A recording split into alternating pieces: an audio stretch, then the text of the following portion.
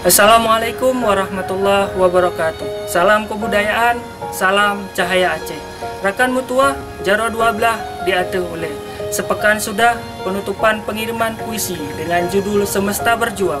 Dedikasi para penyair untuk bencana COVID-19 yang dipelopori oleh Rangkang Sastra Biren Dan dalam beberapa waktu ke depan kita akan mempublis antologi puisi dengan judul Semesta Bertasbih dalam virtual book charity. Semoga apa yang akan kita lakukan menjadi manfaat untuk sesama.